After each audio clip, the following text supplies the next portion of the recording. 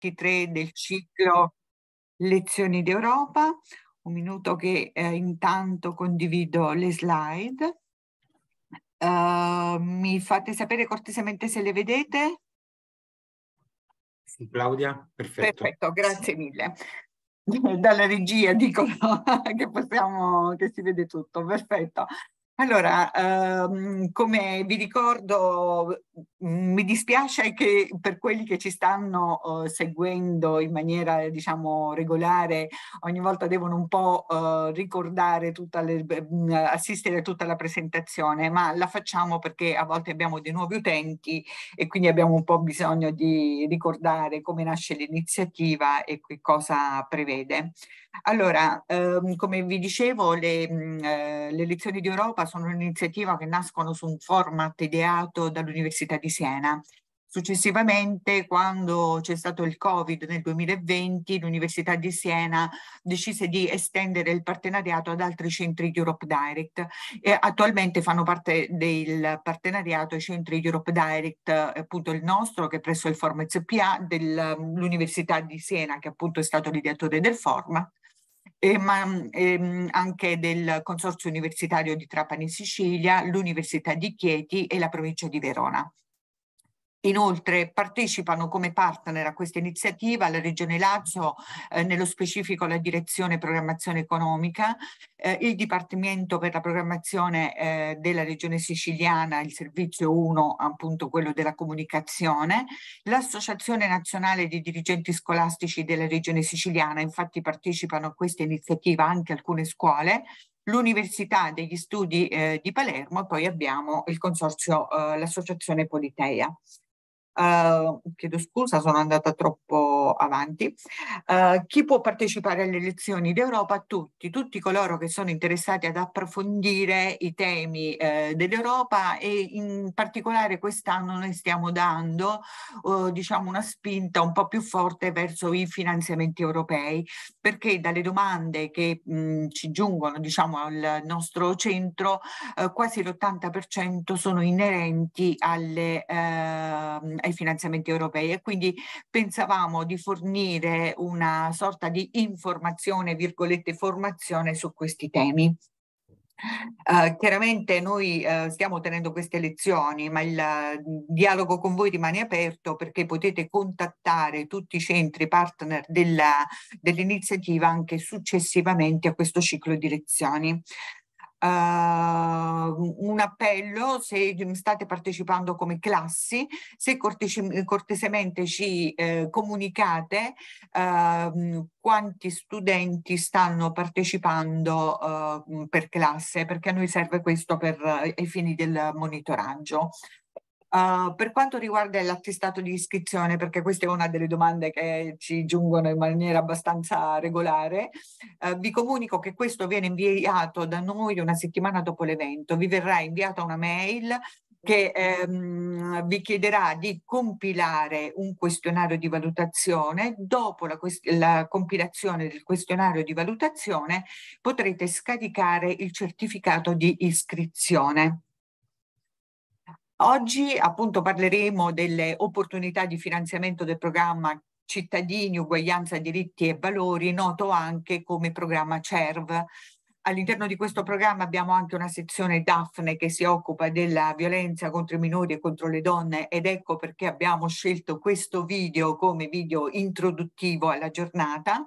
Però vorrei anche ricordarvi l'appuntamento del 30 marzo, quindi la prossima settimana non ci saranno le lezioni di Europa, riprenderanno il, terzo, il 30 marzo con una, un appuntamento dedicato ai giovani e ai nuovi fabbisogni di competenze strategiche. Verrà in particolare presentata questa nuova iniziativa di inserimento sociale ALMA che fa parte del Fondo Sociale Europeo Plus. Quindi mh, mh, mh, cortesemente registratevi perché è molto interessante, ci sarà un funzionario da, Bru da Bruxelles che spiegherà in che modo funziona uh, questa iniziativa.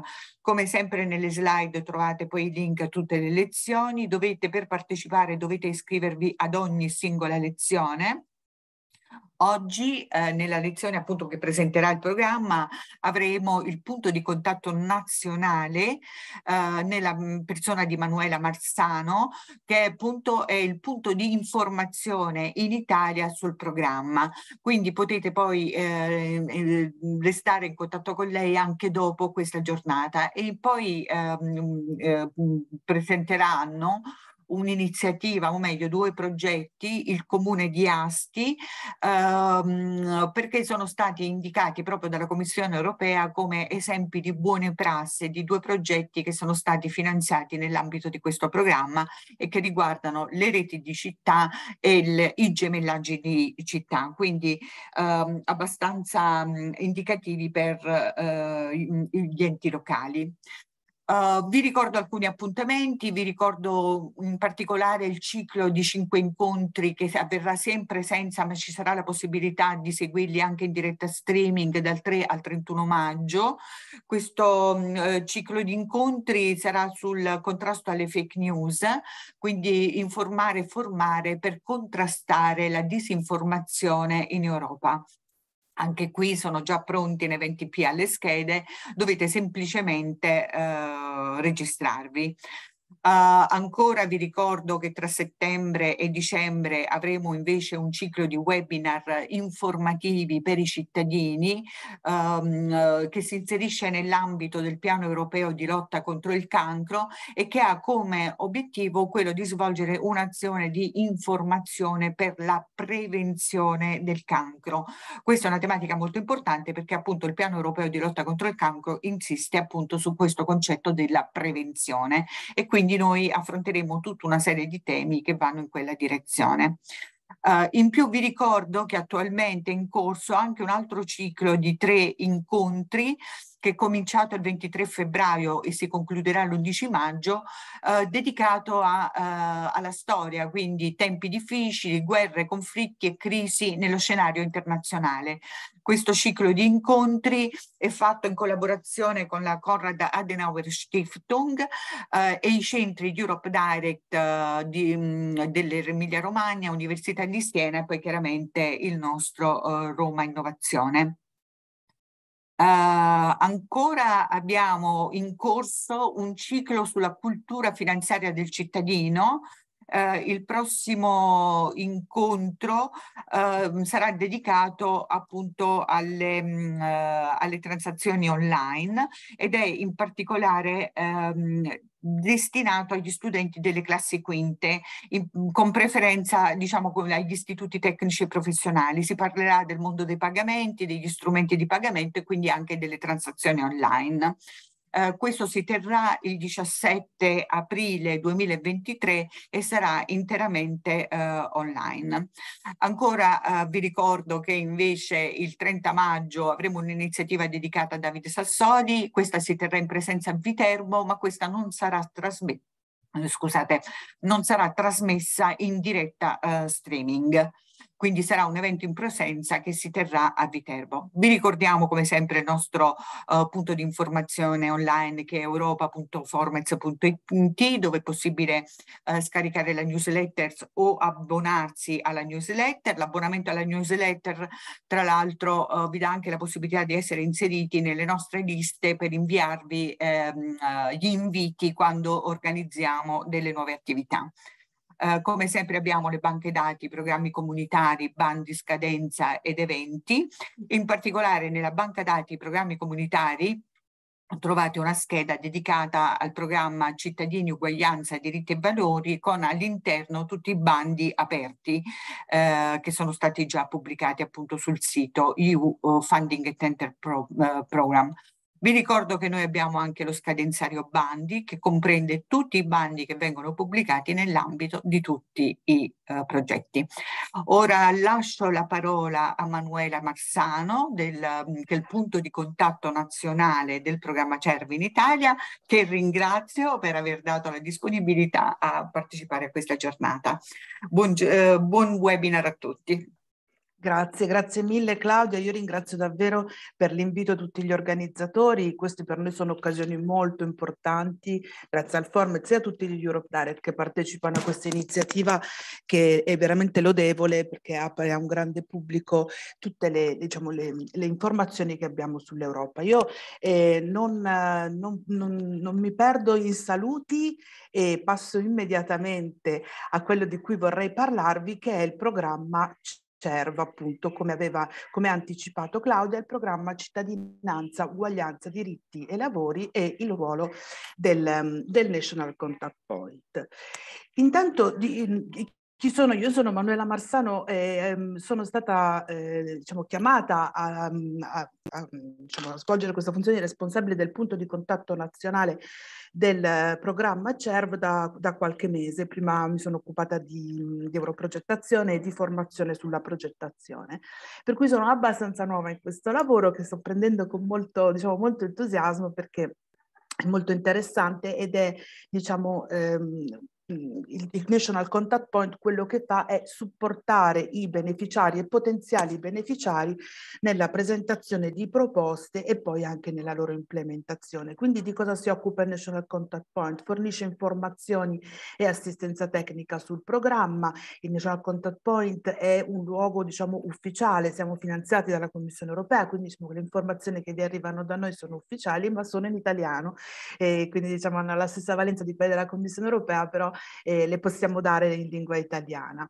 Forniamo anche un supporto nella ricerca di partner progettuali, eh, organizziamo degli eventi, terremo dei webinar nei prossimi mesi sulle call aperte e poi partecipiamo, come in questo caso, ad eventi di promozione e informazione sul programma. Oltre a questo promuoviamo i risultati dei progetti finanziati sul programma e, eh, e fungiamo anche un po' da anello di congiunzione tra la realtà nazionale e la Commissione europea, quindi possiamo anche diciamo, portare a livello europeo quelle che sono le, le istanze e le problematiche nazionali. E io eh, riceverete le mie slide, quindi su questa naturalmente corro, però giusto per eh, mostrarvi che abbiamo tutti i canali di informazione e comunicazione aperti, quindi sito web, un'email a cui potete rivolgervi in qualsiasi momento, una pagina Facebook, LinkedIn, ehm, lanciamo dei sondaggi e poi ho inserito anche il sito ufficiale di CERV, quello della Commissione europea. Ehm, giusto mh, in questo mh, il giorno 20 marzo si terrà a Roma il lancio ufficiale del National Contact Point presso la sala del Parlamentino dell'INAIL in via 4 novembre. Nel caso siate in zona e vogliate passare, vi chiedo di iscrivervi, ci sono eh, tutte le informazioni per l'iscrizione sia sul sito che su, che su Facebook. Allora, ehm, cominciamo a parlare del programma eh, CERV. Qual è l'obiettivo generale del programma?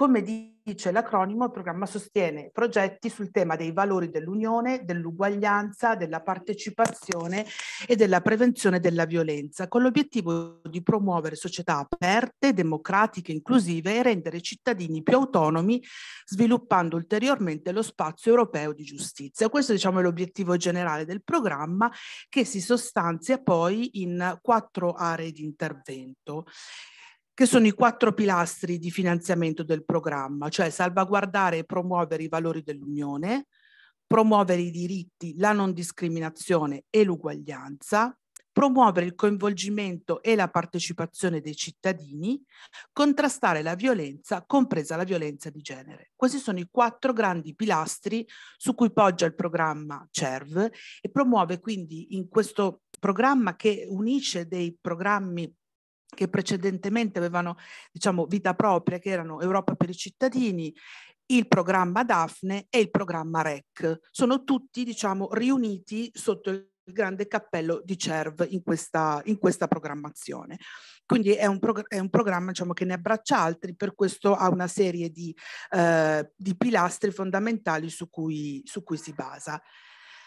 Allora, che cosa ehm, diciamo Andiamo un po' a vedere all'interno dei pilastri di cui ho parlato che cosa si finanzia. Intanto il, ehm, il primo pilastro è il pilastro uguaglianza, il pilastro equal. Diciamo che leggendo l'articolo 2 del testo unico dell'Unione Europea, eh, diciamo, è nel, nell'articolo 2 che troviamo esattamente che cosa finanzia questo pilastro. Vado a leggerlo. L'Unione Europea si fonda sui valori del rispetto, della dignità umana, della libertà, della democrazia, dell'uguaglianza, dello Stato di diritto e del rispetto dei diritti umani, compresi i diritti delle persone appartenenti a minoranze. Bene, la SEI Equal finanzia tutto questo, quindi promozione e salvaguardia dei diritti, sensibilizzazione delle società rispetto a tematiche relative agli stessi diritti. Si promuovono e si proteggono i valori dell'Unione Europea, in particolare quello dello Stato di diritto e di esercizio dei diritti europei all'interno dell'Unione Europea. Ehm, l'altro, l'altro pilastro è quello legato alla promozione dei diritti, la non discriminazione e l'uguaglianza. E qua abbiamo al di sotto di questo pilastro quattro grandi tematiche. Prevenire e combattere la disuguaglianza e le discriminazioni, promuo promuovere il pieno esercizio dei diritti, combattere ogni forma di intolleranza e tutelare i diritti dell'infanzia e delle persone con disabilità. Quindi quattro grandi eh, diciamo, topic all'interno della priorità uguaglianza.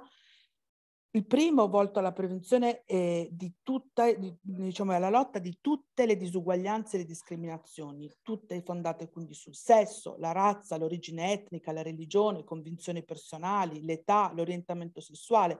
Insomma, all'interno primo, del primo strand si possono realizzare progetti per combattere tutti i tipi di disuguaglianza e discriminazioni.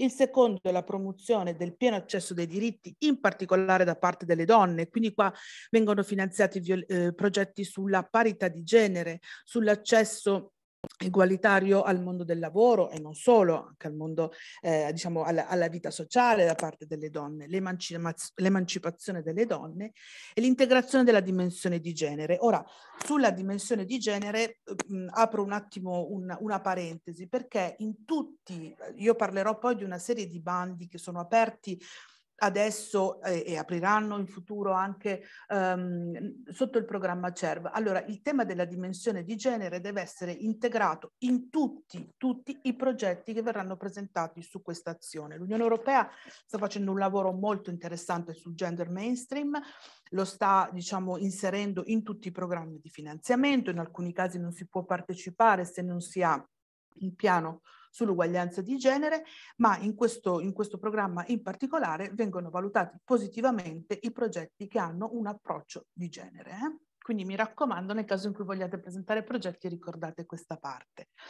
E, um, il terzo strand invece è combattere razzismo, xenofobia, ogni forma di intolleranza, incluse omofobia, bifobia, transfobia, interfobia o intolleranze fondate sull'identità di genere sia online che offline. Ecco, quindi qua progetti volti a combattere l'intolleranza eh, da tutti i punti di vista e, e c'è questo approccio appunto non soltanto diciamo in presenza ma anche online, tutta una, una serie di bandi aperti su questo. Poi la promozione dei diritti dell'infanzia e dell'adolescenza e dei diritti delle persone con disabilità. Su questo i bandi apriranno a breve, quindi su questo tema si potrà lavorare veramente a breve. E la terza priorità è quella più legata alla partecipazione dei cittadini, è un po' quella per chi ha esperienza su questo che viene da Europa per i cittadini, dal programma Europa per i cittadini. L'obiettivo è quello di sostenere ehm, progetti ehm, che abbiano una, diciamo, una serie di eh, tre, grandi, tre, grandi, tematiche che vengono, vengono, affrontate. Il tema della memoria, il tema della partecipazione e il tema dello scambio. Per quanto riguarda il tema della memoria, L'obiettivo è quello di promuovere progetti che ehm, commemorino momenti salienti della storia europea. Questo perché eh, la storia europea ci è comune e quindi eh, in alcuni casi ci ha visto magari su fronti opposti, però comunque l'Europa nasce su una storia comune quindi un po' l'obiettivo è questo anche di ricordare la memoria, no? È importante ricordare anche per non ripetere certi, certi errori. Quindi anche su questo c'è, insomma, c'è un finanziamento aperto che vedremo dopo. Un altro eh, diciamo interessante è la partecipazione civica, la partecipazione dei cittadini alla vita eh, europea, anche delle istituzioni e anche qui c'è un bando che sta aprendo e chiuderà tra poco. E poi eh, l'ultimo è lo scambio tra i cittadini di paesi diversi. Questo io lo chiamo un po' l'Erasmus dei cittadini, no? nel senso che su questo su questo, eh, questi, questa linea vengono finanziati dei gemellaggi fra comuni o fra comunità e, e delle reti di città che hanno proprio l'obiettivo di ehm, ehm eh, avvicinare l'Europa ai cittadini e, e, far partecipare i cittadini ad alcune tematiche pubbliche. Quindi è un po' il modo ecco, di avvicinare l'Europa ai cittadini e per i cittadini di avvicinarsi all'Europa. L'ultimo strand dei quattro è la lotta alla violenza di genere, quello che era il vecchio programma Daphne per chi lavora da un po' di tempo su queste, su queste tematiche e ehm, naturalmente promuove progetti volti a prevenire e contrastare la violenza di genere, la, la violenza nei confronti delle donne, la, la violenza domestica, o io preferisco dire in relazioni di intimità, ehm, per cui tutto il tema del contrasto e prevenzione della violenza, non soltanto contro le donne, ma anche contro minori e, anche, e nel caso dei minori si parla anche di lotta alla violenza assistita da parte dei minori, quindi minori o altri gruppi a rischio come per esempio le persone LGBTIQ o le persone con disabilità. Quindi l'obiettivo è proprio sostenere e tutelare le vittime dirette o indirette di, di, di, violenza che non è necessariamente per forza fisica ma nelle varie forme appunto di, di violenza. E, ehm, dunque, quali sono eh, i bandi ehm, aperti ad oggi? Allora, il primo è il bando Daphne. Eh, un bando che ha un, eh, diciamo, è, è, un po' particolare, nel senso che in, questo, in questa programmazione non si finanziano progetti classici, ma si finanziano progetti per intermediari. Che cosa significa? Che il bando eh, finanzia eh, degli intermediari per un valore di progetto che va dal milione e mezzo a 3 milioni di euro e gli intermediari sono o dei partner singoli o un raggruppamento di partner che ehm, ha l'onere diciamo, di gestire questi 3 milioni e di redistribuirli a partner eh, che ehm, diciamo più piccoli eh, li distribuisce attraverso un meccanismo di bandi pubblici ovviamente e trasparenti eh, che hanno un valore tra i 50 e i 60 mila euro. Ehm, questo, questo, bando che può sembrare un po' diciamo, elitario perché chi partecipa a questo bando considerate che ci saranno circa una quindicina di progetti finanziati in tutta Europa, chi si presenta a questo bando deve dimostrare non solo di avere delle competenze eh, forti sia nella formazione che nel, del sostegno alle vittime, ma anche nella capacità di regranting, cioè di distribuire eh, a partner più piccoli le, diciamo il, il finanziamento. Ehm, che cosa si finanzia? Supporto ad hoc alle vittime, prevenzione della violenza, migliorare competenze e consapevolezza dei professionisti che entrano in contatto con la violenza, quindi formazione, formazione nei CAV oppure nelle organizzazioni eh, eh, locali anche che lavorano su questo, lavorare sugli stereotipi di genere che possano causare violenza di genere e rafforzare la protezione dei minori. Quindi ecco, questo è il, diciamo, è il bando Daphne che molti magari conoscono, però è diciamo più legato alla, ehm, al trasferimento appunto di, di piccoli eh, fondi alle eh, organizzazioni della società civile che quindi possono essere più, arrivare più vicino ai cittadini. Questo è importante perché queste piccole organizzazioni precedentemente avevano difficoltà ad avere accesso a questi fondi, in questa maniera si, si, si tende insomma ad arrivare più vicino. Ovvio che queste ehm, grandi organizzazioni, quindi i meccanismi intermediari che beneficeranno del finanziamento, eh, hanno l'obbligo di fare bandi trasparenti e transnazionali in maniera che poi il finanziamento possa essere, ehm, diciamo, essere eh, distribuito a livello eh, transnazionale. Eh, un altro bando aperto è il bando... Perdonami Manuela, ti sentiamo sì? meno bene. ah, poi... Ok, meglio così allora. Sì. così bene? Mi sentite bene ora? Ora ti sentiamo bene, grazie. Perfetto. Allora, dicevo, eh, un altro bando importante importante il bando Equal eh, che è aperto e che scade il 20 giugno e ha come obiettivo proprio quello di finanziare progetti volti a combattere la discriminazione, l'intolleranza, il razzismo, l'antiziganismo, l'antisemitismo, l'omofobia e la xenofobia. Eh, è possibile in questo caso presentare progetti nazionali o transnazionali per un budget complessivo di programma di 20 milioni di euro. Eh, è possibile in alcune call appunto eh, presentare progetti sia nazionali che transnazionali, eh, ma eh, sono sempre incoraggiati i transnazionali e nel caso in cui vogliate presentare progetti nazionali dovete sempre un po' spiegare il perché. Mm? Quindi se vi limitate al territorio nazionale dovete sempre dare un po' una, una spiegazione del, del perché, perché naturalmente i i programmi europei hanno l'obiettivo di non solo eh, avere un impatto europeo per una questione proprio di, ehm, diciamo, di equità, no? ma proprio quello di avere un partenariato transnazionale per poter apprendere reciprocamente e, e, e quindi lavorare insieme e creare mh, gruppi di lavoro transnazionali. All'interno del bando Equal ci sono quattro priorità eh, che vengono finanziate, ciascuna con un suo budget allocato, quindi questo dice che le valutazioni sono naturalmente separate, quindi, e questo lo dico a beneficio anche degli altri bandi, nel caso di CERV non c'è un limite al numero di proposte a cui partecipare, sia come coordinatori che come partner, Dico sempre però che naturalmente se io presento come partner due o tre progetti all'interno di una priorità sto facendo concorrenza da sola e tra l'altro forse mh, mhmm, non ho neanche esattamente l'idea del mio obiettivo reale, per cui non, questo non è troppo ben visto. In ogni caso non c'è nessun limite, in particolare se, presenta a, se ci si presenta a, in un bando come, come coordinatore, in un altro come, come partner. Comunque, per tornare alle priorità del bando Equal, 11 milioni e mezzo sono sulla lotta contro la discriminazione e, con, e, contro il razzismo, la xenofobia e tutte le forme di intolleranza, inclusi antiziganismo, antisemitismo e odio contro i musulmani.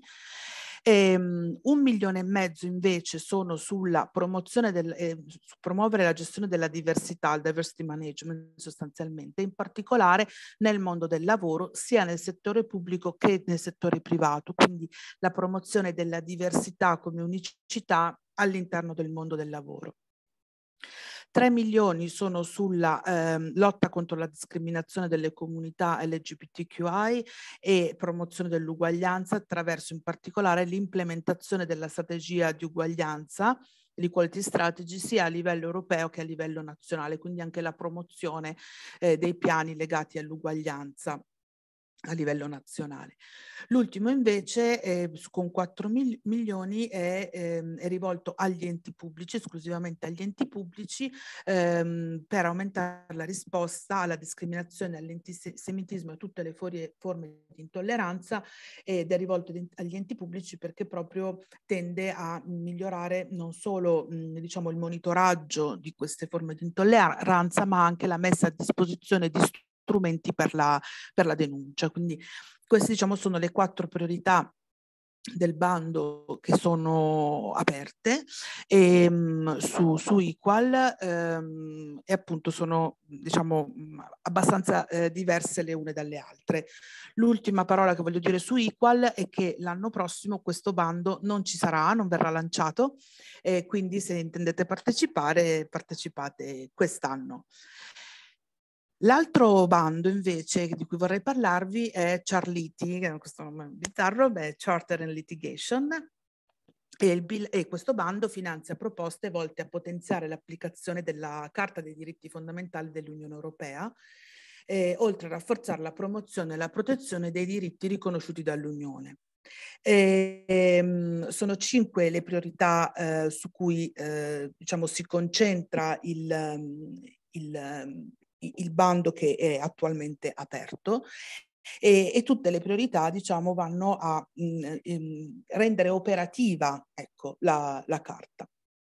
Uh, la prima eh, priorità è sviluppo delle capacità e aumento della consapevolezza riguardo alla Carta dei diritti fondamentali. Quindi un, sono, qua si finanziano proprio progetti volti ad aumentare la conoscenza e la consapevolezza della Carta, dell'esistenza della Carta e dei suoi contenuti. Quindi ehm, ovviamente tu, tu, tutta la carta è, eh, è, oggetto di questo bando, eh, ma ci si può eh, ovviamente concentrare anche su dei singoli diritti sanciti nella carta. Eh, la, seconda, ehm, la seconda priorità è promozione dei diritti e dei valori attraverso il potenziamento dello spazio civico. Quindi in questo caso si promuovono progetti volti a favorire lo spazio civico, l'allargamento dello spazio civico, quindi proprio eh, il rendere reale e ehm, diciamo effettivo eh, il lavoro che si fa ehm, diritti, attraverso i diritti fondamentali in uno spazio eh, condiviso ehm, di, di, civismo. Eh. Quindi ehm, in, questo, in, questi progetti naturalmente si vede la collaborazione di attori attivi a livello locale, regionale e nazionale, volte ad aprire canali di comunicazione tra i livelli nazionali e l'Unione Europea sullo stato dello spazio civico nei diversi paesi. Oltre a questo si, si, incoraggiano progetti legati alla creazione, diffusione e implementazione di strumenti di monitoraggio, ehm, monitoraggio della, diciamo, del, dell'implementazione dello spazio civico, monitoraggio che deve essere coerente con gli indicatori proposti dall'Agenzia ehm, per i diritti eh, fondamentali. E naturalmente in questi progetti si, vedono, si vede bene la partecipazione delle organizzazioni della società civile e, e in generale eh, di tutta la parte di, ehm, di, di, mondo che si muove intorno al, al civismo europeo. Eh, il, terzo, il, terzo, topic è il contenzioso strategico, eh, che è un, diciamo, un'attività abbastanza legata alla, ehm, al mondo diciamo, del contenzioso, quindi anche al mondo legale, e ha proprio l'obiettivo di ehm, far ehm, entrare ehm, la carta anche nel contenzioso e quindi si lavora su progetti volti a far conoscere la carta al settore legale umanitario, non tanto farla conoscere, probabilmente la conoscono, ma proprio farla utilizzare come strumento efficace all'interno del contenzioso. Su questo ci sono progetti, ripeto, abbastanza legati al, al mondo, mh, diciamo, al mondo legale, però sono molto interessanti perché si vede come nel tempo la carta eh, ha, mh, è entrata sempre di più come strumento di, di difesa. Um, un, altro, un, altro, strand è la protezione dei valori e diritti dell'Unione Europea attraverso la lotta all'hate crime e all'hate speech, quindi crimini d'odio e discorsi d'odio ne avevo, parla- ne avevo accennato un po' prima, quindi progetti volti a consentire alle organizzazioni della società civile in particolare di cooperare con le autorità pubbliche per sostenere le denunce di episodi di, di crimini e discorsi d'odio e sostenere le vittime dei crimini e dei discorsi d'odio, sia online, ripeto, che, off- che offline. Quindi questo è, è, diciamo, una linea eh, eh, abbastanza ampia, eh, in cui si possono fare progetti di diverso tipo, eh, che si concentrano su ehm, delle attività volte per esempio al tema della della formazione, dell'informazione, del buon utilizzo per esempio anche dei social media, del, del, diciamo l'accrescimento del tema delle responsabilità, quindi progetti che vedono bene anche la partecipazione di, di giovani, ehm, una linea interessante secondo me. E, um, l'ultima eh, priorità di Charter Litigation è sostenere un ambiente favorevole alla protezione dei whistleblowers, quindi segnalatori di, illeciti. Di illeciti.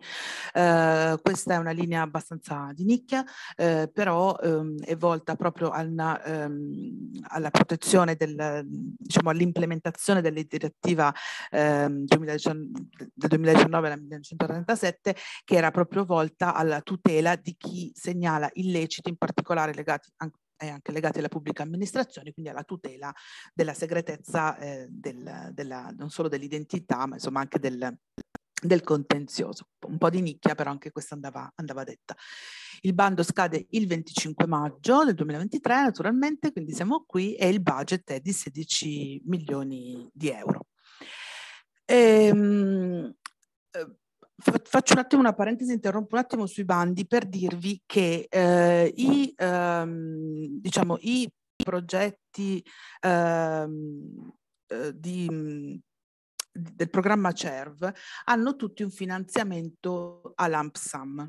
Che cosa significa? È un finanziamento forfettario. Perché dico questo? Non voglio entrare nel tecnicismo, però lo dico perché la, la gestione dei progetti a LAMSAM sono, è, è, un po' più semplice, soprattutto appunto l'implementazione, perché eh, non è necessario dimostrare puntualmente le spese che si sostengono, ma bisogna dimostrare e mh, diciamo rendicontare le attività, cioè il completamento delle attività.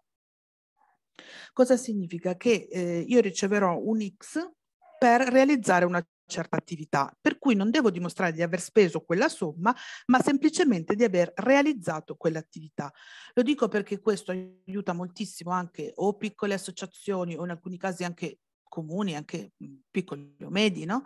eh, perché non hanno tutta la parte, l'onere forte della rendicontazione. Per cui eh, questo volevo dirlo. Ci sono due tipi di lump sum, alcuni diciamo sono più legate a un dettaglio di costi in primis e poi al lump sum successivamente, altri invece in cui il budget si costruisce in maniera molto semplice, molto automatica, perché è dato proprio dall'incrocio di numero di attività e numero di partecipanti. Quindi questo volevo dirlo perché magari qualcuno che ci ascolta eh, sente tutta questa, diciamo, questa quantità di bandi, magari insomma è un po', un po' preoccupato perché ci sono magari diverse azioni che possono essere interessanti, questo volevo dirlo, se, se dapprima all'AMSAM può sembrare qualcosa di complicato, in realtà aiuta moltissimo e agevola nella, nell'implementazione. Allora, tornando ai nostri bandi, eh, il bando reti di città ha come obiettivo quello di promuovere le reti che, abbiano, che hanno a loro volta l'obiettivo di realizzare scambi tra cittadini di paesi diversi e rafforzare la comprensione e la tolleranza, il senso di appartenenza e eh, l'unità europea. Allora, questi progetti sono progetti progetti ehm, che mh, prevedono proprio lo scambio di cittadini, ma più che lo scambio di cittadini, lo scambio, eh, lo scambio che i cittadini possono fare su alcune grandi tematiche. Quindi partecipano comuni, i comuni realizzano attività sia in situ che online, sia diciamo su base locale che transnazionale e a queste attività partecipano proprio i cittadini di quel comune. Quindi ehm, quali sono le priorità eh, che vengono eh, diciamo, sostenute eh, all'interno di Network of Towns? Eh, promuovere la consapevolezza e lo sviluppo di conoscenze riguardo alla cittadinanza europea e i suoi diritti, promuovere la consapevolezza e lo sviluppo di conoscenza rispetto alla, alla, al traguardo del trentesimo anniversario dell'entrata in vigore del Trattato di Maastricht, promuovere sempre consapevolezza e conoscenza rispetto ai temi della diversità e all'uguaglianza di genere e favorire il confronto tra i cittadini per discutere insieme azioni locali riguardo il clima e l'ambiente. Queste sono le grandi tematiche su cui si devono incentrare in questa call precisa di quest'anno i progetti di reti di città. Quindi raggruppamenti di città lavoreranno insieme su uno di, eh, questi, di questi temi. Ehm, naturalmente quello che vi dicevo prima, il LAMSAM cresce con il numero di cittadini coinvolti. Questo significa che i progetti devono effettivamente coinvolgere cittadini e lavorare con, eh, con la cittadinanza il più possibile. Poi sentiremo l'esperienza di, eh, di Asti su questo, eh, su questo bando. Loro hanno vinto un progetto interessante sul bando dell'anno scorso, no? quindi ora incominciano a realizzarlo, ce ne, ce ne racconteranno tra poco. E ehm, naturalmente ehm, ci sono ovviamente una serie di eh, come dire, requisiti per la presentazione del progetto, questo in tutti i bandi, quindi si deve essere in alcuni casi pubblici, in alcuni casi eh, anche privati possono partecipare, ma queste sono informazioni che si trovano su ciascun bando. La scadenza è, eh, di presentazione è il 20 aprile e eh, il budget a disposizione è di 6 milioni e l'AMSAM, quindi quello di cui vi, vi parlavo prima. Eh, un altro eh, bando aperto è il bando Remembrance, il bando Memoria Storica Comune Europea, eh, che eh, ha, è uno strumento volto alla realizzazione dei, dei, e alla protezione dei diritti e dei valori fondanti dell'Unione Europea.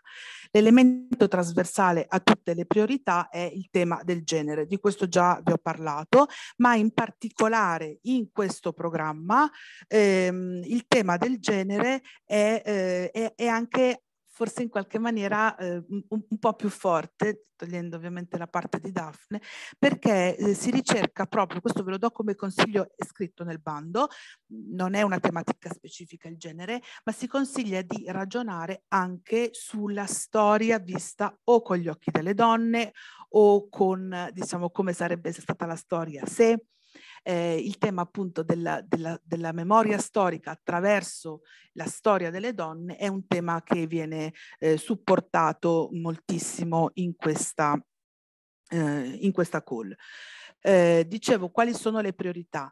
Transizione democratica e rafforzamento delle società basate sullo Stato di diritto, la democrazia e i diritti fondamentali rafforzare la memoria dell'olocausto, i genocidi, i crimini di guerra e i crimini contro l'umanità, migrazioni, decolonizzazioni e società europee multiculturali e integrazione europea. Queste sono le, le, quattro grandi tematiche su cui si concentrano i progetti in questa call. Um, la novità è un po' la, la, la tematica 3, migrazioni, decolonizzazione società europee multiculturali. E su questo voi mh, pensate sempre alla storia come, eh, ripeto, strumento anche per conoscere meglio il presente e prevenire alcuni, eh, diciamo, ehm, alcuni errori fatti precedentemente, quindi naturalmente qui entra anche un, progetti che possono avere un impatto anche eh, di interesse sui temi mh, recenti, penso ovviamente alla, alla guerra in Ucraina. Um, in questo caso i progetti, le attività dovranno creare sinergie tra organizzazioni di diverso tipo, quindi eh, si stimola molto la collaborazione e cooperazione tra um, organizzazioni di diversa natura. Anche qua è possibile realizzare progetti solo nazionali, Uh, ma bisognerà spiegare molto bene perché saranno progetti solo nazionali, se no naturalmente anche in questo caso vengono privilegiati i progetti con un partenariato transnazionale. E, ehm, le attività devono essere di diversa tipologia e integrate, quindi formazione, pubblicazioni, strumenti online, vari tipi di, di attività. Poi nel bando troverete la spiegazione più, più approfondita vari, vari tipi di attività integrate istruire e condurre corsi di formazione anche sul tema dei diritti, anche per i funzionari pubblici, per il sistema giudiziario, che, che partano dalla memoria e, e, e approdino veramente nel presente, eh, offrire opportunità di confronto intergenerazionale tra testimoni diretti e future generazioni, quindi lavorare appunto su questo, sul tema della, della, mh, mm, della condivisione del ricordo anche dell'attualizzazione, se volete, del ricordo, e poi coinvolgere persone di diversi gruppi target e di vari gruppi di, di genere. In questo caso la eh, scadenza è per il 6 giugno e il budget, eh, il budget totale del, mm, della call è di 10 milioni 200 mila euro. Anche qua il modello di costo è l'AMSAM automatico, in questo caso modello 1, quindi al, eh, il budget cresce con il numero di paesi coinvolti e il numero di azioni che vengono eh, realizzate. Eh, un altro bando è il eh, Town Twinning, cioè il bando gemellaggi, che ha proprio l'obiettivo di far incontrare cittadini di comuni diversi. Quindi eh, questo progetto questo, scusate, questo bando è rivolto sia a comuni grandi che a comuni piccoli ovviamente, però secondo me, dico questo, è, è molto interessante per i comuni più piccoli perché naturalmente il coinvolgimento di un comune piccolo porta eh, questo diciamo, porta il coinvolgimento della comunità di un comune piccolo porta un impatto molto più grande in generale sulla, sulla comunità più alta. Quindi naturalmente se, se, parte un gruppo di 50 persone su un comune di 1000 abitanti ha un impatto, su un comune di 5 milioni di abitanti ha un altro impatto. L'obiettivo è proprio quello di far incontrare i cittadini tra di loro, di farli confrontare su alcuni tematiche. Il, progetto, il programma si chiama, scusate, il, mm, la call si chiama gemellaggi, ma non è necessario che i comuni siano gemellati precedentemente. E, ehm, anche su questo Asti ci racconterà la sua, la sua esperienza. E, ehm, e quindi eh, è, è, un po' ha, proprio l'obiettivo di far conoscere e mettere eh, in rete i cittadini da una parte e naturalmente anche gli amministratori eh, proprio comunali proprio per affrontare insieme alcune tematiche che possano essere eh, di comune interesse oppure perché magari hanno delle, questi due comuni hanno delle similitudini o hanno delle differenze, vogliono confrontarsi su queste differenze o hanno dei pezzi di, di storia comune, no? Quindi è interessante e molto spesso da questi gemellaggi, da questi progetti di gemellaggio nascono relazioni durature nel, nel tempo. Ehm, si realizzano attività di workshop, di seminari, conferenze, webinar, ehm, eventi culturali anche, festival, congiunti, spettacoli, insomma qualsiasi cosa possa coinvolgere il cittadino direttamente su, su alcune cose.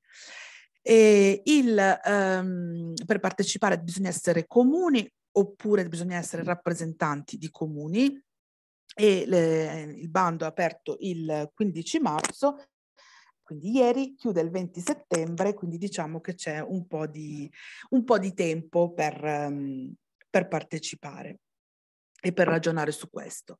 Eh, l'ultimo bando che ha aperto, cioè che non è ancora aperto in realtà, per il prossimo mese, però abbiamo già l'anteprima e su questo bisogna insomma iniziare a ragionarci perché questo è diciamo il bando più vicino a quello che era Europa per i cittadini e ha come obiettivo quello di promuovere la partecipazione dei cittadini e delle associazioni di rappresentanza alla vita democratica dell'Unione Europea.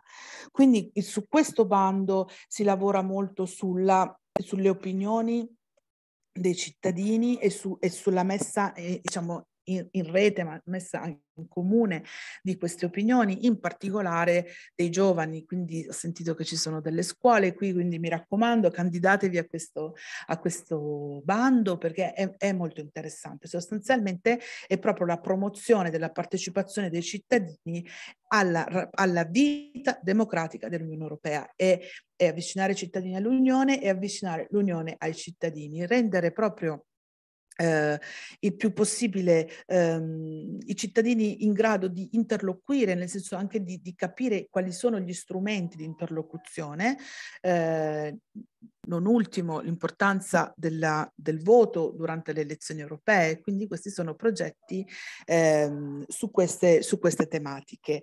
Ehm, naturalmente la, la, partecipazione deve essere sostenuta, incoraggiata e resa possibile e le priorità del bando sono appunto eh, la promozione e la partecipazione democratica attraverso il dibattito sul futuro dell'Europa. Su questo, ripeto, invito caldamente i giovani, le scuole a partecipare. Quindi qual è l'Europa che vogliamo?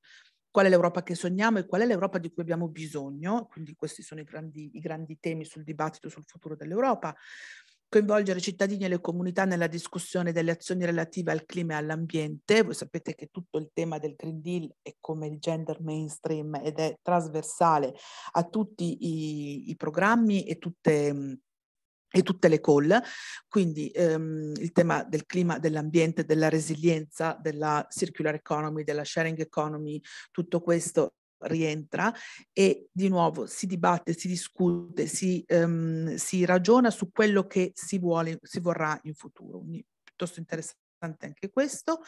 Ehm, l'altro mh, diciamo, topic che viene anche questo Europa per i cittadini è le, diciamo, il coinvolgere i cittadini e le comunità nel dibattito e nelle azioni relative alla solidarietà. Eh, il tema della solidarietà transnazionale, cioè eh, che, mh, che impatto ha l'appartenere a una comunità transnazionale sul tema della eh, solidarietà e del, e del, lavoro in comune. E, ehm, e, l'altro punto interessante è contrastare la disinformazione e le altre forme di interferenza nel dibattito democratico e promuovere l'alfabetizzazione mediatica. Quindi qua si lavora sulle fake news, sulla falsa informazione, sull'informazione distorta che ha appunto um, come diciamo, obiettivo anche l'interferenza nel, nel dibattito democratico. Quindi come l'informazione distorta può rendere inefficace o ineffettivo un dibattito democratico e come si può diciamo, contrastare eh, questo, eh, questo tema. E, ehm, mh, le attività, eh, diciamo, mh, sono varie e variegate. E, ehm, si possono, mh, diciamo, mh, mh, si, si, possono scrivere progetti che prevedono eh, dibattiti, campagne, attività di sensibilizzazione, conferenze, workshop, eccetera, quindi attività eh, diciamo pubbliche, eh, ancora ehm, lavorare sulla raccolta di opinioni dal basso, quindi muovere la società civile e, e, e, in maniera che possano dare effettivamente le loro opinioni, pur informate però, eh, attenzione sempre al, al, raccogliere le opinioni in maniera informata. E, e su questo apro un'altra parentesi sulla raccolta di opinioni, però questo lo dico in generale, quando si ehm, maneggiano dati, attenzione che tutti i progetti devono eh, avere, mm, devono definire chiaramente tutto il tema della eh, difesa, scusate, della protezione dei dati, quindi tutto il GDPR deve essere applicato in maniera attenta e scrupolosa e questo scrivetelo nei vostri progetti, non datelo per scontato, quindi protezione dei dati. Eh, oltre, e questo lo aggiungo eh, qui eh, il tema che nel momento in cui nei progetti vengono coinvolti dei minori, ehm, in, diciamo, eh, si applica la eh, Child Protection Policy, quindi la protezione dei diritti dei minori, si chiama Child ma è gli under 18 per gli under 18, quindi nel caso in cui il vostro progetto preveda la partecipazione di, di minori, eh, bisogna proprio inserire questa, mh, questa, politica di protezione per mh, diciamo, eh, dimostrare che in nessun modo ehm, verrà mh, eh, apportato danno ai minori anche sulla comunicazione. Mi raccomando, prestate molta attenzione eh, al coinvolgimento dei minori nella, nella comunicazione. E, ehm, ancora vengono ehm, promossi eh, confronti tra cittadini europei su dei mh, temi riguardo alle politiche europee, quindi sia confronti in presenza che anche naturalmente confronti a distanza, sia dibattiti ma non solo, l'utilizzo delle nuove tecnologie naturalmente è possibile ed è efficace, l'identificazione di soluzioni e raccomandazioni possibili da presentare alle autorità pubbliche rilevanti a livello locale, quindi proprio la creazione di proposte che possano essere poi diciamo, ehm, ehm, rilanciate sia su un livello locale ma anche un livello europeo e come nota in questo, in questo bando, in generale, non devono essere finanziate attività che supportino eh, specifici eh, partiti politici. E, ehm, Ancora, i lead applicants, cioè i coordinatori devono essere entità mh, no profit oppure università pubbliche, mentre i, co- i co-applicant possono essere entità legali no profit, pubbliche e private o organizzazioni internazionali. Tutti i partecipanti devono essere stabiliti in uno Stato membro e devono essere le attività implementate in uno Stato membro. Rispetto a questo, gli stati, in questa programmazione, ehm, tutte le attività e i progetti devono essere ehm, eh, devono vedere la partecipazione soltanto dei partner appartenenti a stati membri. Voi sapete che in alcuni programmi è possibile la partecipazione di paesi eh, terzi, ma in questo caso ancora nessun paese terzo ha firmato l'agreement sul CERV. Quindi allo stato dei fatti nessun altro paese può partecipare né come coordinatore né come partner può partecipare nel caso come associato ma senza budget. E, ehm, è chiaro che eh, nel momento in cui ehm, i, i, i, paesi terzi firmeranno gli accordi, allora potranno partecipare. Eh, ad oggi ehm, è possibile farli entrare, ma do, dobbiamo, dovremmo avere la certezza che al momento della firma del grant agreement questi paesi partner abbiano firmato l'accordo di partenariato. Questo vale per tutti i bandi di cui ho parlato fino, fino ad ora, per cui è un po' un rischio, no? Quindi insomma questo è poi sta a voi. E, ehm, nel caso eh, di, di mh, quindi attenzione a questo tema, io in questo momento fossi io mi limiterei ai Paesi membri. Il finanziamento non può essere inferiore a 75 mila euro in, questo, in, questa tornata diciamo che ehm, hanno, la Commissione ha stabilito delle basi minime di finanziamento e spesso non il massimale, quindi una, una dimensione di progetto che ci danno un'idea della dimensione di progetto. Il bando, come vi dicevo, non è ancora aperto, apre il 4 aprile e chiuderà il 5 settembre, quindi anche su questo c'è ehm, possibilità di diciamo di, eh, di, di, riflettere e scrivere dei buoni, dei buoni progetti. Io eh, avevo tempo fino alle 11 e me lo sono preso tutto. Vi lascio questa slide eh, dove trovate il calendario delle prossime call. E, naturalmente, ripeto, eh, le slide saranno messe a vostra disposizione ehm, successivamente e sul nostro sito trovate tutte le informazioni. Io vi ringrazio per l'attenzione. Scusate se ho un po' corso, però ci tenevo a raccontarvi eh, un po', a darvi una panoramica generale del, del del programma, sono a disposizione ora, diciamo successivamente all'intervento di Asti, ma in particolare sono a disposizione ehm, per i prossimi cinque anni, diciamo, presso il punto di contatto nazionale. Grazie ancora. Grazie mille Manuela, sei stata, devo dire, chiarissima e non lo penso solo io, ma ho visto anche i commenti nella chat da parte dei nostri partecipanti eh, ho anche una domanda, però non te la rivolgo ancora perché volevo dare ora la parola ai colleghi di Asti, del comune di Asti, il dottor Amico e la dottoressa Panaccore, così che ci raccontano un esempio concreto di un progetto che è stato finanziato nell'ambito del programma e ehm, che tra l'altro appunto dal, da un comune, siccome so che tra i nostri partecipanti ci sono moltissimi comuni, questo potrebbe essere un po' una, uno stimolo per altri a cimentarsi eh, nella presentazione di proposte di progetto. Prego.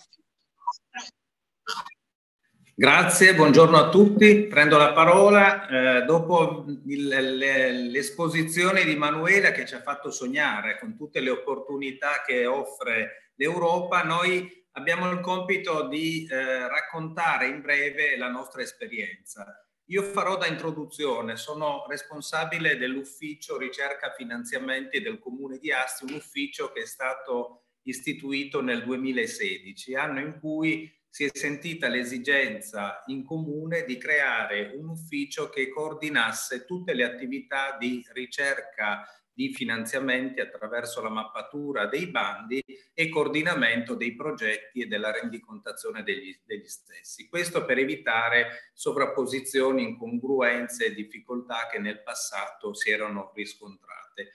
Devo dire che quando mi hanno proposto questo ufficio, io ero impegnato già in attività di progettazione in altri uffici, la prima risposta era stato un no, e questo perché avevo eh, chiara l'esperienza già fatta dal comune di Asti di un precedente ufficio cui, di cui per un breve periodo avevo fatto parte che si occupava di progetti europei. È un ufficio che ha lavorato molto bene e che però non è stato capito nel suo complesso dalla, dai più perché veniva visto soprattutto come quell'ufficio che organizzava i viaggi in Europa, ma che in realtà non portava niente di concreto eh, per la città. Questo lo dico perché un limite nella comprensione delle opportunità che dà l'Europa è questo.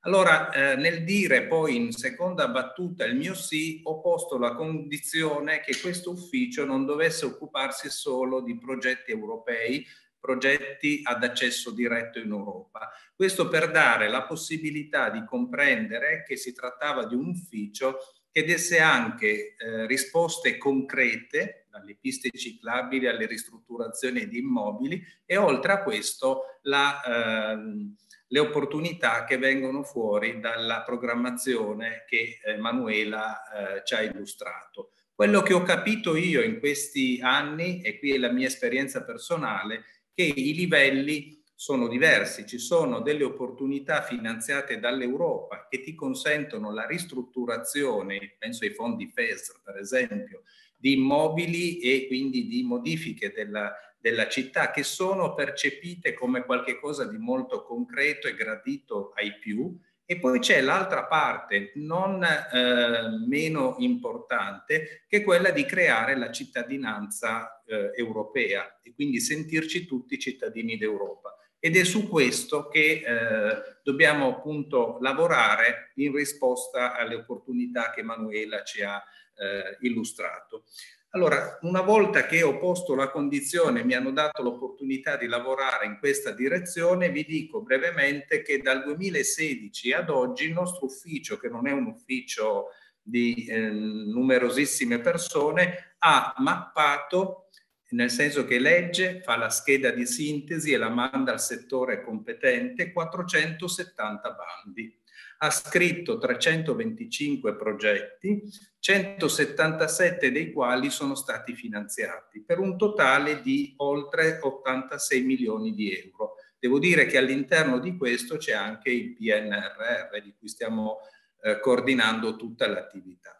In questo volume di lavoro che comporta anche tutta l'attività di rendicontazione, come si inserisce l'attività di europrogettazione? Abbiamo intercettato la disponibilità di Sara come collega eh, che ha competenze linguistiche, questo deve essere pri il primo requisito per chi si dedica a questo tipo di attività, una passione perché mentre prima Manuela illustrava tutte le opportunità, lei friggeva un po' dicendo come sarebbe bello fare questo perché non facciamo quell'altro, quindi un interesse vivo un po' a quello che si sta facendo e il terzo requisito, la capacità di relazionare con gli altri uffici, con gli altri colleghi di tutto il comune per non far decollare dall'alto le progettazioni e farle sentire come un corpo estraneo che poi non viene, diciamo, inserito armonicamente nell'attività. Quindi bisogna saper modulare bene anche la comunicazione con i colleghi per coinvolgerli e farli attrarre a questo tipo di attività che personalmente ritengo molto interessante perché non è di routine, è generativa e ti dà dell'opportunità di innovare veramente quelle che sono le attività dell'ente e eh, della città. Questo è il panorama generale, per cui in questi anni, dal 2016 ad oggi, prima ci siamo dedicati come ufficio agli altri tipi di bandi, dalle dai, dai fondi FESRA, i fondi ministeriali, regionali, fondazioni bancarie e poi gradualmente abbiamo iniziato a inserirci nella progettazione europea con progetti ad accesso diretto. Nella precedente programmazione abbiamo iniziato come partner perché ci sembrava più prudente iniziare così per cominciare a capire come vanno le cose, come vengono rendicontati, come vanno impostati i meeting e adesso ci siamo lanciati invece in attività di, eh, in cui siamo capofila e devo dire che lo scorso anno eh, ho lasciato un po' Sara eh, eh, muoversi eh, dietro il mio coordinamento, ma pensavo soprattutto a un'attività di esercizio.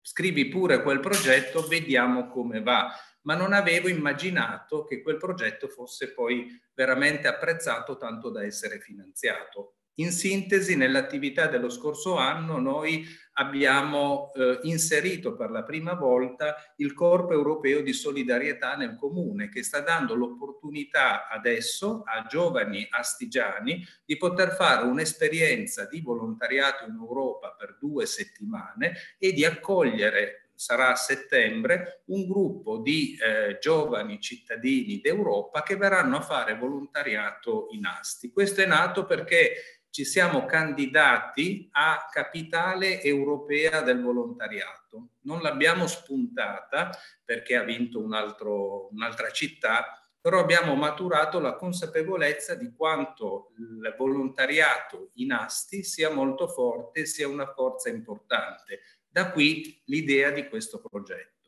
Questo lo dico come cornice, mentre i due progetti che sono stati finanziati, di cui Sara adesso vi parlerà e lascio a lei la parola, sono uno sul programma Reti di città, del quale nella precedente eh, programmazione europea abbiamo fatto da partner in un precedente eh, progetto, e l'altro il Town Twinning. Devo dire, come sempre introduzione, è sempre legato al fatto di rapportarsi in maniera, diciamo, funzionale con i colleghi degli altri uffici, avevo raccolto il bisogno della collega che si occupa dell'ufficio gemellaggi di recuperare delle risorse per poter dar forma al desiderio di continuare a svolgere attività con le due città con cui Asti è gemellata messo questo suo bisogno in un cassetto, l'abbiamo tirato fuori nel momento in cui abbiamo visto il bando e Sara ha scritto il progetto. Adesso do la parola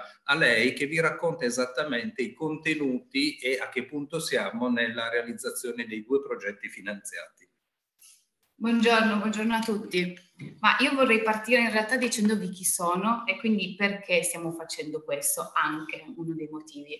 Io mm, porto questa passione, qualcuno ha scritto povera Sara, viva la passione, ci va, ci va assolutamente, anche perché l'ho vissuto in prima persona. Io sono stata un anno all'estero e ho fatto la mia prima esperienza di volontariato di Corpo Europeo di Solidarietà fondamentalmente e, e da lì insomma è nata questa, questa, passione ma anche proprio il credo di quanto sia fondamentale, no? Di quanto sia importante condividere il senso di cittadinanza attiva, il senso di condivisione, il senso proprio che l'Europa cerca di trasmettere, che a volte forse è un po' difficile che arrivi, sembra un po' lontano, sembra un po' irraggiungibile, no? Quindi questa è un po' la, la cornice che mi muove eh, e che mi ha, mi, ha, mi ha, fatta arrivare qui eh, non, eh, un po' per caso e poi ci siamo incontrati e abbiamo deciso di implementare un po' questa, questa parte. Uh, I due bandi a cui abbiamo partecipato, come diceva il dottor Amico, sono uno il Network of Town e l'altro il Town Twinning. Uh, il Town Twinning ha preso le basi da un gemellaggio che in realtà era già attivo con le due città gemellate di Asti, uh, Biberach e Valence in Germania e in Francia, e che rischiava per un po' di morire, un po' di, di avere difficoltà no? nella prosecuzione. Quindi ci siamo rimboccati le maniche, abbiamo creato questo, questo progetto che si terrà tra l'altro tra pochissimo ad Asti dall'11 al 14 di aprile e che vedrà una cinquantina di ragazzi incontrarsi qui ad Asti, quindi 41-42 ragazzi da Valence e da Bibera che avranno la possibilità di venire qui ad Asti, eh, vedere la città, incontrarsi con dei loro pari che insomma dopo questi due anni di Covid e online forzato non è già poco. E poi abbiamo insomma, progettato due giornate molto intense dedicate esclusivamente a loro. Quindi una è rispetto al volontariato, che cosa si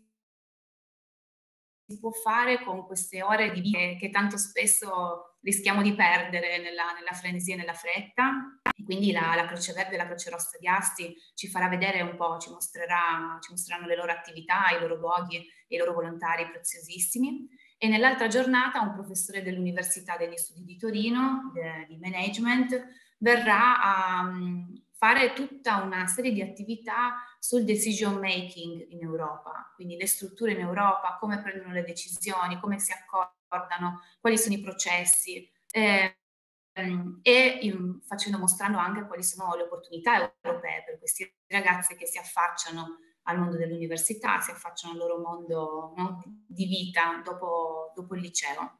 Uh, questo è stato quello che, che Beppe definiva insomma la, il nostro esercizio che invece è andato a buon fine e che quindi è stato, mh, vi dico soltanto un po' di tempistiche per chi ha l'ascolto che forse può essere uh, importante e necessario. La call dell'anno scorso è stata pubblicata a novembre del 2021, eh, noi l'abbiamo poi presentata entro la deadline di marzo e c'è stata valutata sette, a settembre. Mm? Eh, quindi implementiamo le, le, attività adesso ad aprile e il totale del budget è di quasi 8.000 euro, quindi questo era proprio eh, un, il primissimo step che abbiamo fatto per entrare in Europa, ma di cui siamo molto orgogliosi. L'altra è la Network of Town, quindi sempre sotto la linea CERV, e eh, è un po' più grande, è un progetto un po' più grosso di sette partner europei, due italiani, due spagnoli, una dalla Bulgaria, una dalla Romania eh, e un portoghese. In tutto sono circa 175 mila euro di progetto eh, della durata di due anni. Uh, questi si svolgeranno diversi meeting internazionali, il primo, il primo sarà qui ad Asti uh, a fine marzo, su uh, tema ambiente, nello specifico Green Deal, quindi che cosa questo Green Deal può fare per la pubblica amministrazione e soprattutto come la pubblica amministrazione può calarlo nella realtà della, della propria territorialità, del, del, proprio ente locale. Quindi obiettivo scambio di buone pratiche tra tutti questi paesi, eh, molti dei quali sono già impegnati eh, in azioni, ad esempio nella settimana eh, green, quindi hanno già delle buone pratiche da portare, da portare avanti. Eh, io volevo portarmi un, un po' questa nostra esperienza eh, perché ci siamo lanciati in questa call e abbiamo provato.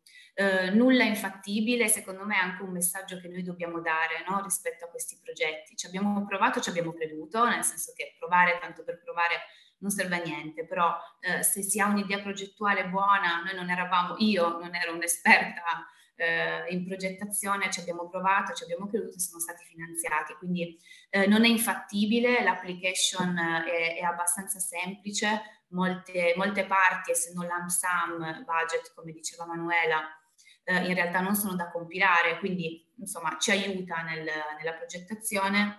Eh, provate perché insomma per me eh, l'aver tentato con delle idee buone ed essere riuscite è stato veramente un successo eh, senza precedenti di cui sono molto orgogliosa. E quindi adesso tra pochissimo inizieremo a vedere i frutti. Quindi adesso siamo nella parte difficile di gestire il, il progetto precedente e seminare i nuovi, i nuovi, proge- i nuovi progetti però insomma tutto si fa, eh, ci va una buona organizzazione, ma io, io vi rimando l'idea di, di, provare perché è un'esperienza meravigliosa e la call chair secondo me è ben calibrata sulla, sulla macchina dell'amministrazione pubblica, quindi è fattibile. Bene, aggiungo ancora questo che eh, stiamo lavorando andando oltre il CERB per un Erasmus Sport con scadenza il 22 di marzo e che nel progetto eh, reti di città che è stato finanziato, ogni meeting avrà anche un focus eh, sulle opportunità che l'Europa offre ai comuni per poter implementare dei progetti sulla tematica dell'ambiente e dare forma quindi al Green Deal. Questo per sostenere il desiderio da parte delle amministrazioni pubbliche di adeguare le proprie prassi, le proprie azioni a quello che è l'indirizzo europeo rispetto a questa tematica dell'ambiente ambiente che è di estrema attualità.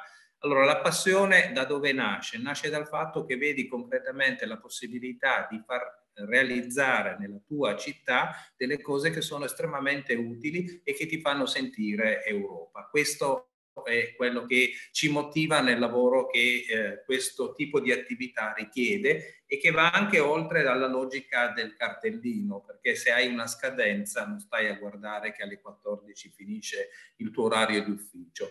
Siamo anche bravi nel riuscire a organizzare i nostri tempi senza stravolgere le nostre giornate. Quindi io ho uno staff di eh, persone che stanno lavorando nessuna è stravolta dal lavoro, riusciamo tutti senza dover fare degli straordinari esagerati a uh, lavorare diciamo serenamente. Bisogna partire per tempo, bisogna organizzarsi e soprattutto avere come forma mentis quello che è il metodo che l'Europa ti chiede nel impostare i progetti. Troppa emotività uh, non ci aiuta. Ecco, bisogna essere abbastanza razionali, aver acquisito il metodo. Io ho fatto diversi master in neuroprogettazione e questi li sto mettendo a disposizione. Noi abbiamo concluso il nostro intervento sperando di aver dato uno stimolo a chi ci, a chi ci ascolta nel buttarsi in questo tipo di attività. Volevo dire solo un'altra cosa, Claudia, se posso velocissimo, stavo certo. guardando le domande certo. rispetto alla sostenibilità. Allora, è chiaro che il town twinning, quindi quello che è soltanto un evento che viene finanziato dall'Unione Europea, eh, non ha in sé, almeno per questo che abbiamo previsto noi, una sostenibilità se non la partecipazione tramite il partenariato ad altri progetti. Quindi la nostra idea era quella che è un po' la rete di partner di, come dire, eh, riuscisse a ripresentare no? una volta ciascuno questo tipo di, di esperienze e quindi replicare questi meeting in questo modo.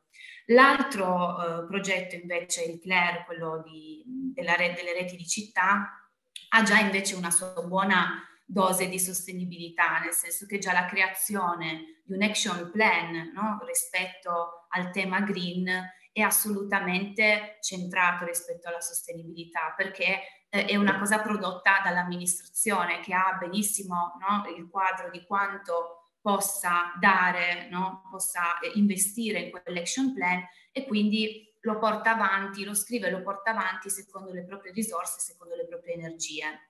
Eh, volevo soltanto dire questo perché l'avevo visto nelle, nelle domande. Grazie.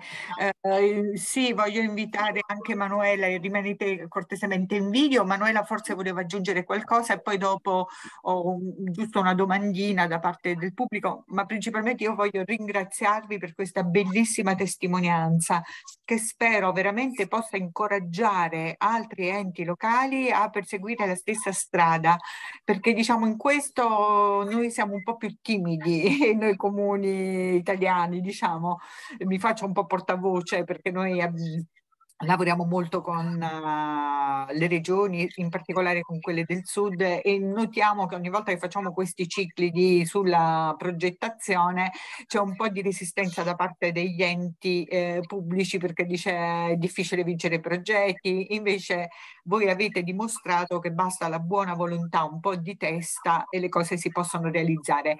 Chiedo perdono, passo, passo subito la parola a Manuela che voleva dire qualcosa. No, io era, Poi la riprenderò alla fine. Volevo no, ringraziare veramente il Comune di Asti per questa testimonianza. E, ehm, a me, a me, piace sempre, dopo che parlo in maniera teorica, avere una testimonianza pratica, proprio per questo, perché così chi ci ascolta vede che le cose non sono così delle filosofie, ma sono, è possibile applicarle. Io andrò da loro a fine mese, sono molto contenta perché c'è il lancio del, del progetto sulle reti e, e, la, e, quando li ho sentiti, quando li ho conosciuti soltanto in video, non ci conosciamo personalmente, ho pensato a loro proprio per, per, quest, per, due, per due cose. Una è perché mi hanno detto ci abbiamo provato e ce l'abbiamo fatta, no? E quindi questo secondo me è, è un modo giusto per, per, credere in se stessi, credere nella capacità capacità amministrativa anche perché le persone sono anche parte di una, di una macchina più ampia e, e diciamo e, e, criticarsi troppo diciamo che criticarsi troppo non va neanche bene ecco. Essere consapevoli dei propri limiti sì ma eh, criticarsi troppo non va bene. Quindi secondo me uno slancio in questo senso. Anche quello che diceva Giuseppe prima rispetto alla, alle competenze trasversali che si acquisiscono partecipando ai progetti. Come cambia la macchina amministrativa quando si fanno progetti europei indipendentemente dal contenuto. Metodi di lavoro diversi metodi di lavoro che ti permettono anche di uscire prima e andarti a prendere un aperitivo, perché se le cose si fanno bene, si fanno veramente, si possono fare nei tempi, non serve ehm, appunto lavorare 30 ore al giorno. No? Quindi questi secondo me sono messaggi importanti, la passione, vabbè questo io ne, ho, è una cosa che, che, sento molto mia, eh, la passione, la, la qualità, la competenza, il coraggio anche di fare delle scelte e l'ultimo passaggio, poi taccio veramente, diceva Giuseppe, la collega dei gemellaggi ci aveva detto che voleva andare avanti su questo. Allora la, l'individuazione del bisogno, perché se un progetto non nasce dal bisogno, poi non sarà sostenibile nel tempo. Quindi questo è un altro punto importante, non fare i progetti perché escono i bandi, ma prima di tutto individuare i bisogni reali e poi trovare il bando giusto per finanziarli, non al contrario, assolutamente non al contrario perché altrimenti ci troveremo, ripeto, ad avere dei progetti non condivisi e quindi non sostenibili. Eh, taccio, ora, eh, sono Manuela, siamo perfettamente d'accordo nelle giornate informative che noi organizziamo, questo lo facciamo sempre presente, cioè bisogna capire l'amministrazione su che cosa cosa vuole investire e poi dopo andare a cercare il bando più adatto perché di bandi ce ne sono tantissimi e di tutti mh, i tipi. Il problema è vedere dove l'amministratore vuole andare, se concentrarsi appunto su progetti di volontariato, di reti di città, ambientali e quindi poi dedicarsi a quello.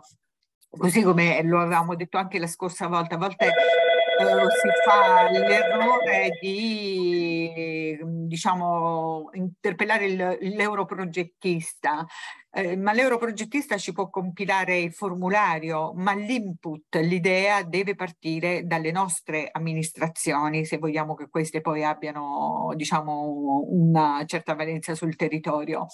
Uh, ho una domanda per, uh, per uh, Manuela. Io penso che questa domanda è arrivata mentre parlavi dei progetti con il coinvolgimento dei cittadini. Eh, la domanda è in che modo coinvolgerli o dove coinvolgerli? Quindi se cortesemente ci puoi un po' uh, puoi tornare un po' su questo. Sì, allora il, um, allora, il tema della partecipazione e del coinvolgimento, questo a, a prescindere dal, dal, programma, dal bando, no? eh, in generale uno dei miei consigli è quello di mh, aprire alla partecipazione ehm, nelle aree in cui è possibile realmente partecipare. Provo a spiegarmi meglio.